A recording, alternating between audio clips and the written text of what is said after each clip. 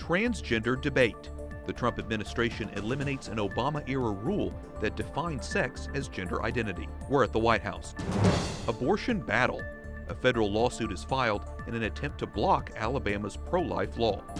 Stepping aside, British Prime Minister Theresa May announces her resignation. We'll have analysis on what it means for the future of Brexit. And history in the making. The Vatican launches a women's soccer team. We'll talk to its manager about the group's goal. On EWTN News Nightly for Friday, May 24th, 2019.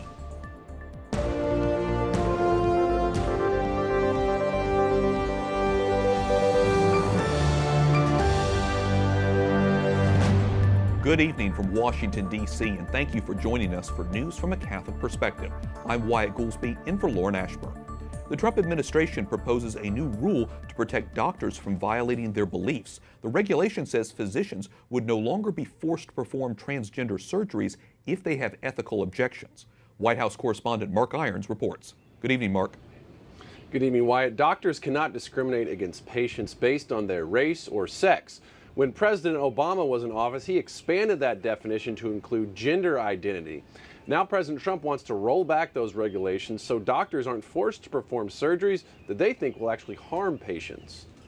Before he left for Japan today with the First Lady, we asked President Trump about the issue. Should doctors be forced to perform transgender reassignment surgeries? We're going to see. Well said. Monica Burke with the Heritage Foundation says today's action is about changing an unlawful regulation made by the Obama administration. They tried to reinterpret sex to also include gender identity, basically bypassing Congress in this move. A federal judge ruled against the regulation. If it had gone into effect, Burke says it could have required objecting healthcare providers to take part in sex change operations force doctors, nurses, hospitals, insurers to perform, to pay for, provide these controversial transition affirming therapies. And no healthcare professional should be forced to act against their conscience or their best medical judgment. An attorney from Becket, which is helping protect conscience rights, tells us it's not uncommon for agencies to propose a rule and never finalize it. So they're closely watching this case. That's part of why we're continuing uh, pursuing a final ruling in court because the government has shown that uh, it doesn't always move on its own. Sometimes it needs a ruling from a court before it will do the right thing. Opponents accuse the Trump administration of trying to erase the rights of gay people. But Roger Severino, who heads the Health and Human Services Office for Civil Rights, says everyone deserves to be treated with dignity and respect, and we intend to fully enforce federal laws that prohibit discrimination. Wyatt, I'm told this rule would not discriminate against transgender people from receiving medical care. It would also not prevent them from having a sex change operation, just not with providers who oppose the procedure. Wyatt. Mark, is this new rule now in effect? No, it now enters a 60 day public comment period, and we can undoubtedly expect court challenges as well. Wyatt. We'll be following that. White House correspondent Mark Irons reporting. Thanks, Mark. Abortion providers file a federal lawsuit to block Alabama's new pro life measure.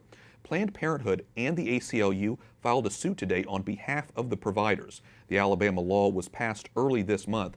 It would charge doctors who perform an abortion at any stage with a felony punishable by up to 99 years in prison. The measure is expected to take effect in November. Missouri Governor Mike Parson signs a heartbeat bill. It bans abortion after eight weeks. Doctors who violate the cutoff would, could face 15 years in prison.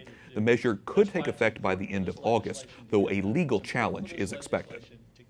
The House of Representatives fails to pass a $19 billion aid bill to help victims of hurricanes, flooding, and wildfires. The money that has been on hold for months will now be on hold again. Disaster bills are usually bipartisan, but this one hit snags in a deeply divided Washington. Capitol Hill correspondent Jason Calvi was in the House chamber. He joins us with the details. Jason? Why, this money will go to southern states and Puerto Rico devastated by hurricanes, the flood soaked Midwest, and fire ravaged California.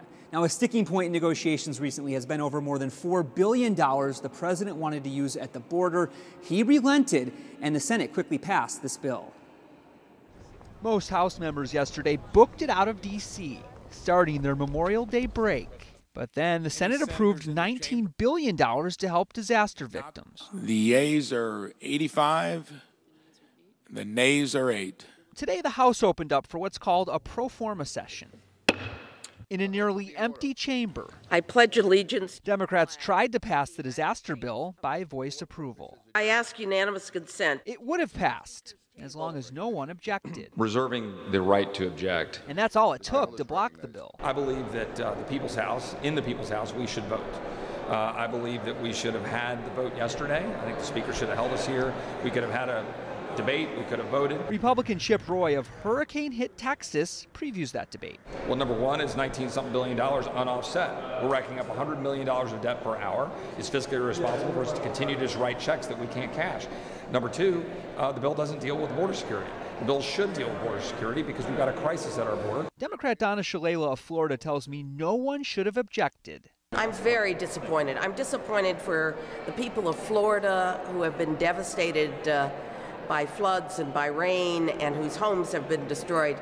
I'm disappointed for the people of California and the people of Texas who have been affected. This isn't the first snag for this disaster bill.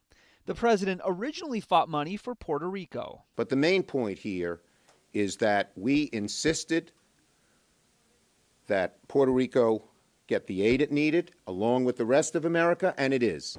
Some of that would help rebuild the American territory's schools and hospitals. Now, Democrats will likely try to pass this bill once again next week during the Memorial Day recess using that unanimous consent approach. But all it will take is just one Republican to block it. Now, storm victims will eventually see this money. They're going to have to wait for the full House to return in June and have a roll call vote. And at that time, we expect this bill to pass. Wyatt? Jason, do you know if the president will sign it?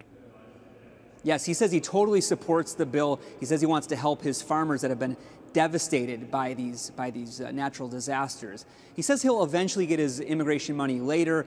In fact, that money to take care of immigrants detained at the border is running out, so this will be a pressing issue for lawmakers when they return from this Memorial Day recess. And I'm sure disaster victims in the meantime are hoping to get the money. Capitol Hill correspondent Jason Calvi reporting. Thanks, Jason. The United States files new charges against WikiLeaks founder Julian Assange. Officials at the Justice Department says Assange violated the Espionage Act. They cite his publishing secret documents containing the names of confidential military and diplomatic sources.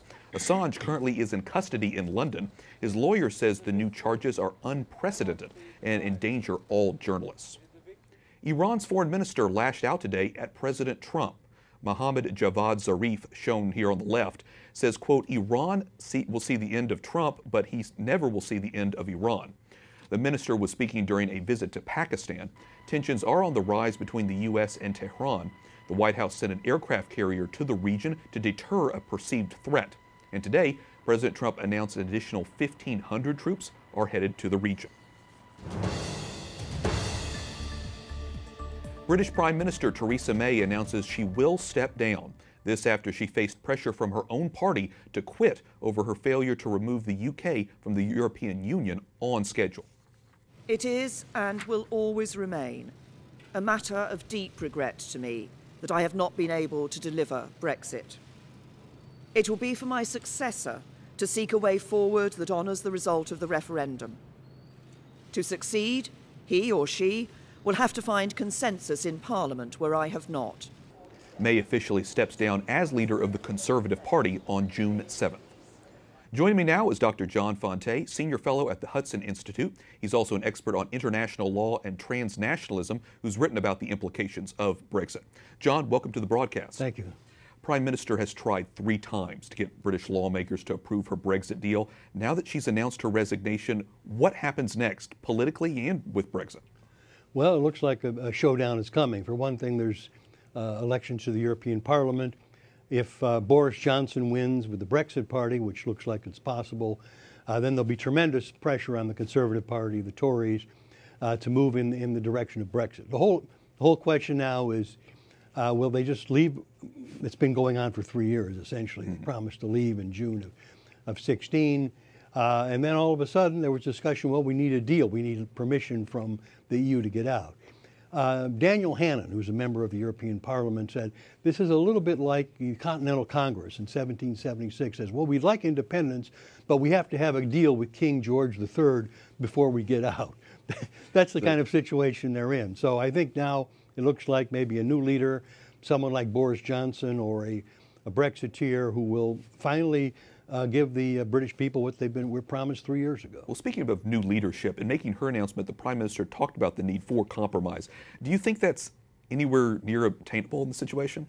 Uh, the, the, European Union itself has, uh, has uh, not been willing to compromise. They've, uh, they've said Britain must remain um, essentially regulated. They still have to be regulated.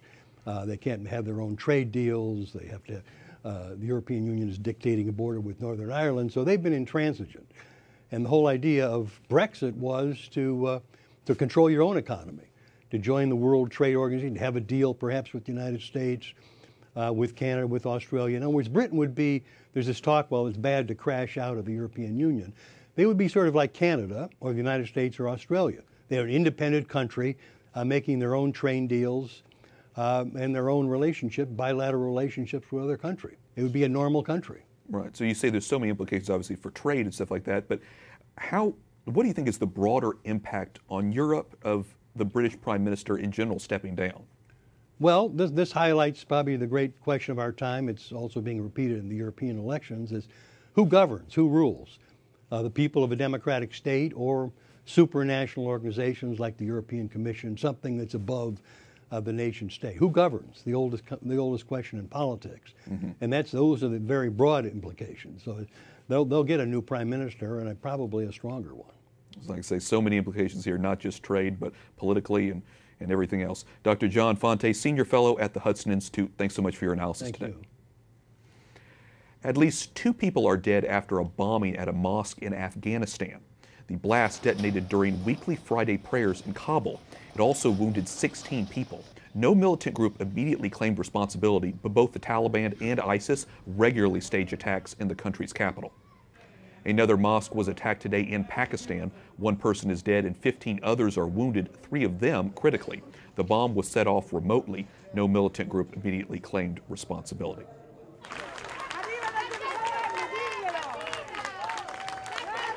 The leader of Italy's League Party appeals to his supporters' Catholic sensibilities ahead of Sunday's European Parliament elections. Matteo Salvini is in favor of tough laws on migration. He's also reminded the crowd he supports crucifixes in schools. The King of Thailand opens the country's first parliament in five years.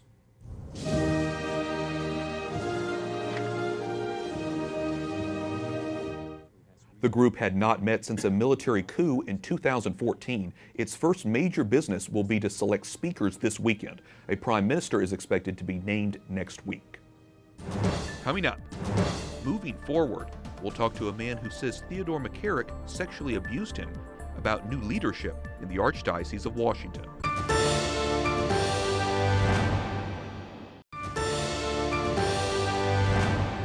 Welcome back. I'm Wyatt Goolsby in for Lauren Ashburn.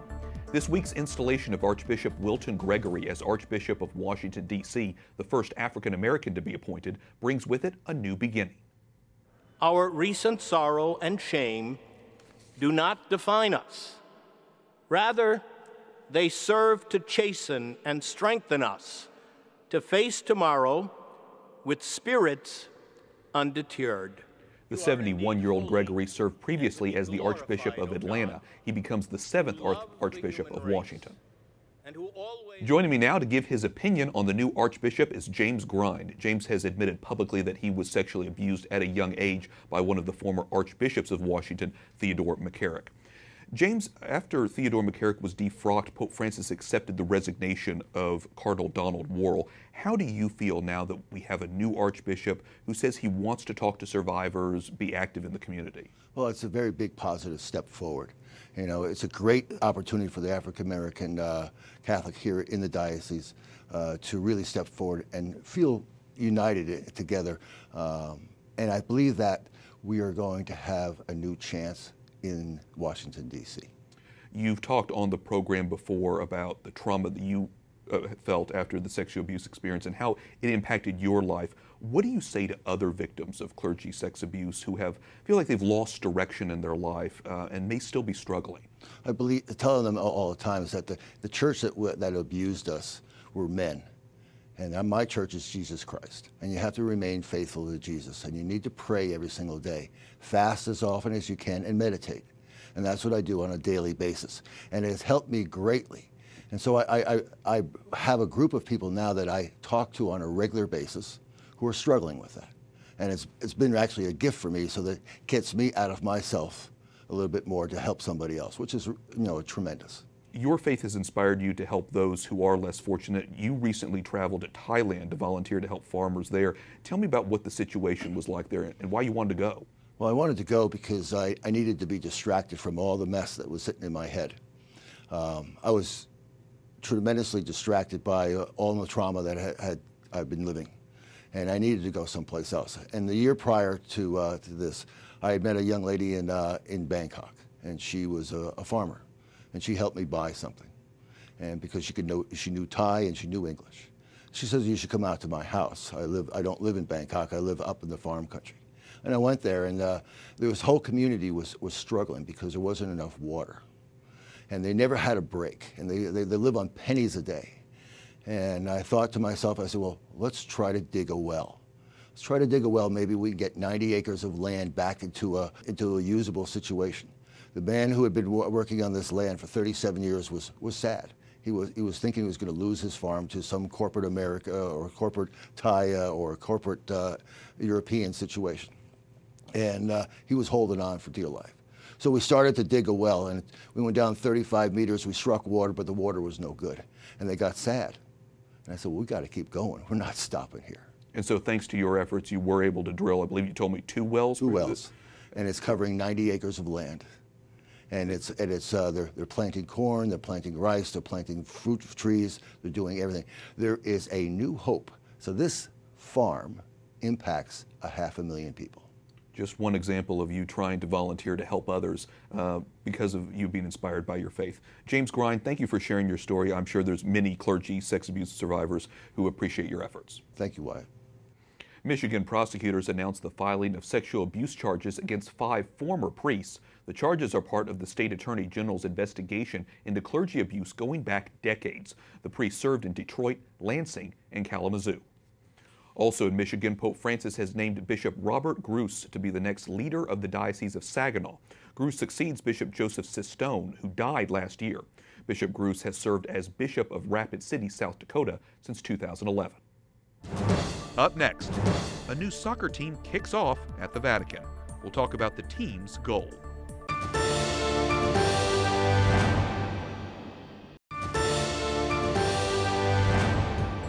Tanti definiscono il calcio come il gioco più bello del mondo. Pope Francis says soccer is the best sport in the world. The Holy Father was speaking to 5,000 young players at the Vatican. He says the great thing about soccer is it requires teamwork to succeed. Welcome back. I'm Wyatt Goolsby in for Lauren Ashburn. There's some more soccer news coming out of Rome. The Vatican has launched a women's soccer team. The squad is comprised of Holy See employees plus the wives and daughters of workers. Local media report the team will travel to a tournament in Austria next month. Susan Volpini, the team's manager and secretary of the Women in the Vatican Association, joins us from Rome. Susan, a men's team at the Vatican has existed for 48 years. How was the women's team formed? Um, actually, we've been uh, we have existed for about a month and a half now because um, the idea started last year, and at the last Family Day that was held in June of 2018, just for fun, there was a, a female soccer game and. A couple of months ago, the Danilo Zennaro, who is the uh, secretary of the Association Sport in the Vatican, came to our association to ask if someone just wanted to, to hang on to this idea and, and start a women's soccer team, and that's how it all started. Very exciting. Well, in March, the founder and the entire editorial board of a Vatican women's magazine quit, citing a climate of distrust against women inside the Vatican. What has been your experience working in the Vatican? Well, I've been in the Vatican for 26 years, and I must say it's an honor to, to serve the Holy Father and, and and the Vatican. And I've always had great, um, a great experience in all the years I've been working in the Vatican. So I have never had problems of any sort, and I'm and I hope hope to, to, to work still many years in the Vatican, serving the Holy Father. And to that end, Pope Francis and his advisors say they want to increase the presence of women in the Vatican. What does that mean to you, and, and why is that important, do you think, in your view? Well, of course, um, the, the female genius, as he, would, as he mentioned more than once, um, is very important. The women should, should be um, added to the Vatican where we are needed because not all positions are for women. But I'm sure that the, the Holy Father and, and the Secretary of State will think about uh, taking on new women if needed and when needed. So this is an honor also um, to be able to, to also um, apart from being a mother or uh, having other jobs to serve the, the Vatican, that is usually considered a man's world. But it's, it's not always so because there are many nuns and consecrated women and lay women who already serve in the Vatican. So we're happy about that. Susan, tell me a little bit more about the women's soccer team. We've been seeing some photos of them. Just tell me a little bit about them. Um, it's a great group of girls. We have uh, girls from 23 to women who are around 50. So we have all ages and from all different offices. Uh, about 60% uh, work in the Vatican, whereas 20% are wives of people that work in the Vatican, and another 20% are the daughters of those that work in the Vatican. So we have a great group of women, and I am meeting, after 26 years, I'm meeting a lot of women that I didn't know, and, um, and it is really an honor to wear that shirt uh, with the, the logo of the Vatican and, and represent the Holy See. So we're having a really good time, really good time.